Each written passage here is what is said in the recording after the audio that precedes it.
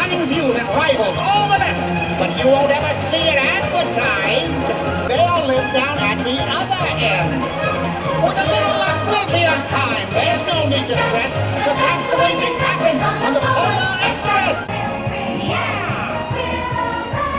Bang, bang, bang! Coaster, the Polar Express! Christmas tree, let the